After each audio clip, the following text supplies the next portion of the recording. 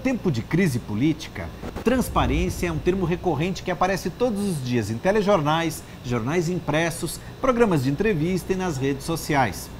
Mas você sabia, cidadão, que existe uma lei que dá a você pleno acesso a dados e contas dos poderes legislativo, executivo, judiciário e até do Ministério Público em todas as esferas? Aqui em Piracicaba, nós fomos até a Câmara de Vereadores para conhecer dois serviços oferecidos pelo Centro de Documentação da Casa, que colocaram a cidade em posição de destaque quando o assunto é transparência do Legislativo. Confira!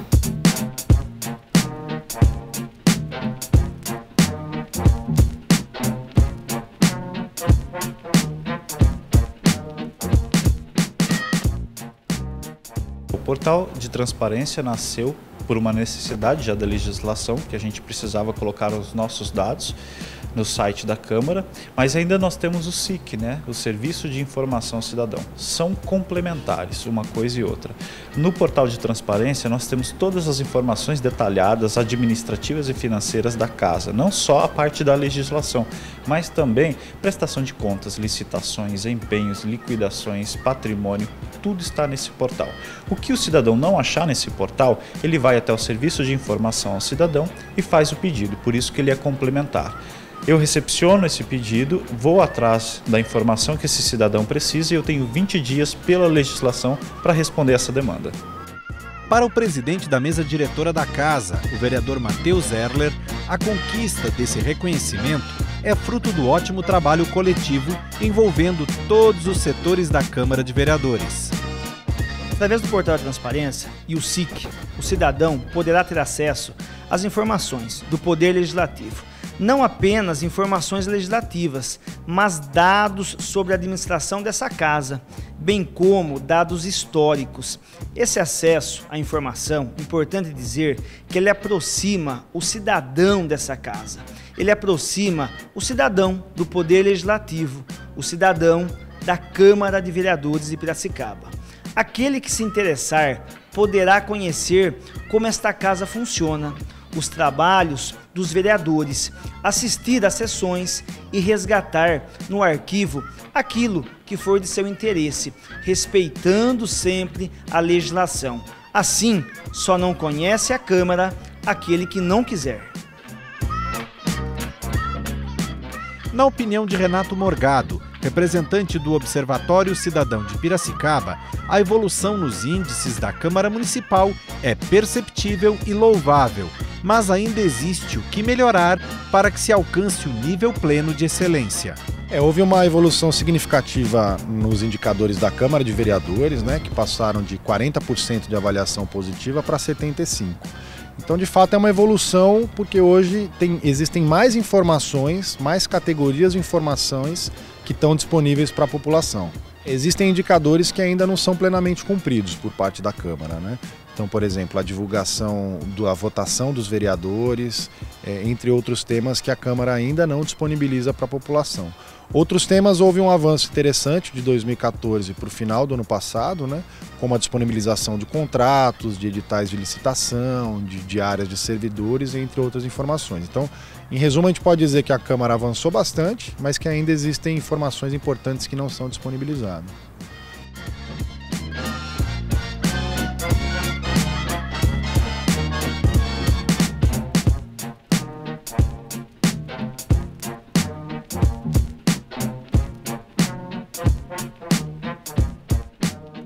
Vale a pena lembrar que o Portal de Transparência e o SIC são sistemas complementares de acesso à informação e que todo órgão público deve possuir. Não é uma faculdade, mas uma obrigação. E aqui na Câmara, aqui em Piracicaba, o nosso Poder Legislativo atende a 100% desses requisitos do SIC e a 95% do portal de transparência. A conquista desse índice se deve, sem dúvida alguma, ao desempenho de gestão da mesa diretora e de todos os departamentos dessa casa, inclusive do Departamento de Documentação e Arquivo, que é responsável pela gestão dos serviços de informação. Nosso compromisso é e sempre será o de atender com excelência, rapidez, eficiência, cumprindo os requisitos da legislação e as demandas sociais. Por isso, estamos sempre dispostos a ouvir a população e melhorar nosso serviço de informação. Mas o diretor do Centro de Documentação, o historiador Fábio Bragança, lembra que as atividades do setor vão além da manutenção do serviço de informação ao cidadão e do portal da transparência. Imagine que para a gente colocar toda essa informação disponível no centro de documentação, precisa processar tudo isso e colocar no portal de transparência. Então é um volume muito grande que precisa ser colocado nesse sistema. Então aqui no centro de documentação da Câmara, nós fazemos todo o arquivamento, nós temos o arquivo permanente, cuidamos dessa documentação, fazemos o restauro, a digitalização, as, essas pesquisas necessárias e respondemos e colocamos para a população esse acesso. E é possível encontrar documentação desde quando aqui? Olha, a documentação mais antiga que tem hoje na Câmara é um documento produzido em 1784, antes mesmo do surgimento da Câmara, que é 1822. Este documento tratava da mudança da, da freguesia de um lado do rio para o outro. Para que vocês entendam, era o seguinte: é, quem chegava a Piracicaba se instalava do outro lado do rio, onde hoje é Vila Resende. E ali começou a surgir a povoação e a freguesia. Mas eles perceberam que poderiam mudar para este outro lado, onde está o centro hoje, organizando mais as ruas, o primeiro projeto urbano, digamos assim. E eu tenho esse documento que marca essa passagem de 1784 do lado da Vila Resende para o lado onde é o centro hoje. Este é o documento mais antigo. Aí temos toda uma coleção de atas, as atas mais antigas, ainda escritas à mão, que a gente trabalha com a transcrição dessas atas e uma vasta documentação sobre a administração na cidade a partir de 1800. Para conhecer todos os serviços prestados pelo Departamento de Documentação da Câmara, basta entrar em contato via telefone, e-mail ou mesmo fazendo uma visita pessoalmente ao local. No próprio site, a gente tem uma página, é, um diretório de história, onde a gente vai colocando as informações é, e disponibilizando para a população. Mas atendemos também aqui de segunda a sexta, das 8 às 17 horas, no quarto andar do prédio anexo à Câmara. Aqui nós temos sala para pesquisador, temos uma equipe trabalhando no processamento desses dados, também temos uma sala de restauro, onde dá para acompanhar um pouco desses processos do dia a dia do nosso trabalho.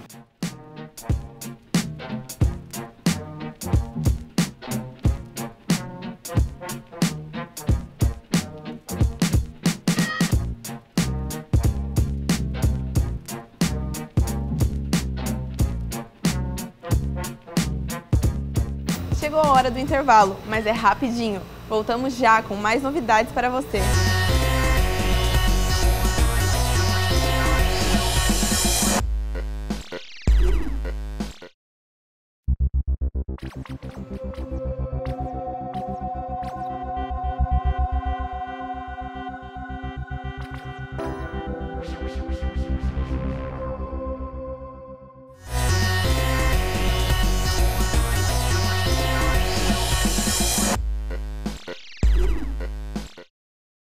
Museu Luiz de Queiroz recebe a segunda edição do Salão Internacional de Fotografia, com obras de fotógrafos premiados e convidados da cidade de Piracicaba. A nossa equipe foi até lá para conferir de perto esse trabalho.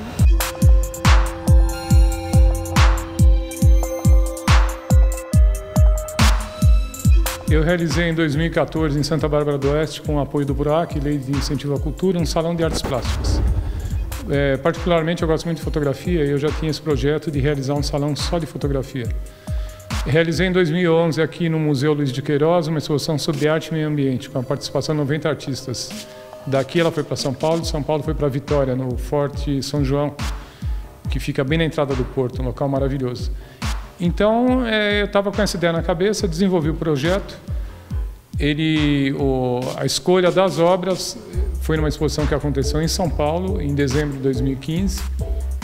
E aqui o que nós temos é a amostra dos artistas classificados, do primeiro ao décimo, os três primeiros classificados e as menções honrosas, do quarto lugar ao décimo lugar. E também artistas piracicabanos que participaram do salão e eu convidei para participar aqui também, independente de terem ou não sido classificados.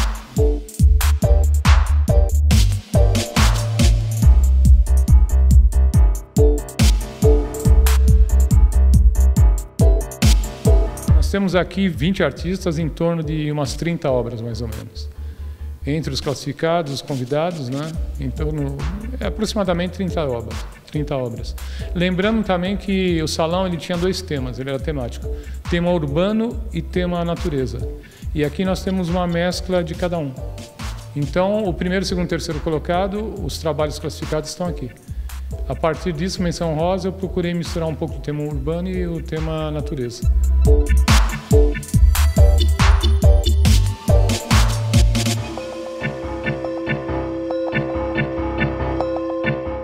Aquelas pessoas que quiserem visitar a exposição Olhar, está aberta no museu de segunda a sexta-feira, das 8 da manhã até as 5 horas da tarde. A entrada, como todo mundo sabe, é gratuita. Vale a pena conferir, né? Uma linda exposição.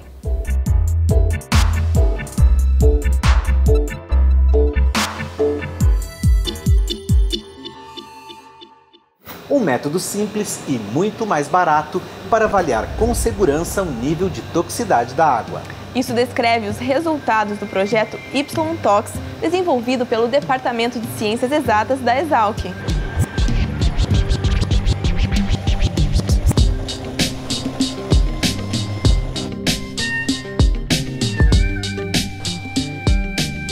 O projeto ITOX é um projeto financiado pela FAPESP e ele tem como motivação o uso de leveduras como bioindicadores de contaminantes em água e solos. Atualmente, nós usamos a levedura porque a levedura tem uma grande proximidade com o ser humano, tanto em sua estrutura e isso pode, os efeitos que você encontra na, dos efeitos tóxicos dos elementos ficam muito parecidos para o ser humano. O kit mais utilizado na, hoje para determinação de toxicidade é o microtox, que usa uma bactéria marinha. E a distância dessa bactéria com o ser humano é bem grande. Então, por isso, a nossa proposta num projeto da FAPESP de usar a levedura como bioindicador. Tá? Essa levedura, hoje em dia, nós conseguimos chegar numa simplificação do método. O método ficou fácil e rápido e barato, que é o mais interessante, comparado aos métodos disponíveis no mercado.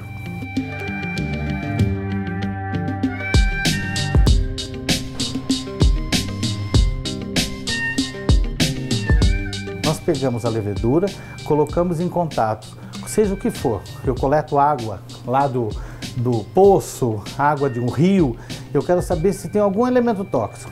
Eu pego essa levedura, coloco essa água em diferentes diluições e depois eu faço análise do metabolismo dela através de um reagente chamado tetrazóleo. E aí o que acontece? Quanto mais vermelho ficar a solução depois dessa reação de contato da levedura com a água, melhor é a condição dessa água. Se ficar incolor, está com um grande problema essa água. Então esse kit nós estamos é, desenvolvendo e nós estamos usando uma levedura de panificação, uma levedura comum que qualquer pessoa pode usar. Comprar em qualquer supermercado a levedura e estar tá usando nesse kit. Isso é uma facilitação que a gente queria criar para que é, comunidades mais carentes, é, outros países, países do terceiro mundo pudessem ter um acesso a um kit barato com essa levedura. Mas quais são as possibilidades de produção em larga escala para a comercialização desse kit? Luiz responde. Hoje em dia nós estamos no final de um projeto da FAPESP. Estamos encerrando e estamos muito felizes com os resultados que nós conseguimos obter. É, futuramente, essa levedura pode, esse kit pode ser transformado em uma coisa comercial. Isso depende muito agora das indústrias e parcerias que podemos ter daqui para frente. Porque a universidade, nesse meio acadêmico, a gente faz ciência, a gente descobre, mas a gente não sabe produzir um kit. Então é isso que nós estamos esperando, que daqui para frente, agora com novas validações contra metais e outras, outros compostos orgânicos que estamos fazendo do kit, possamos ter contato com a indústria para fazer essas validações.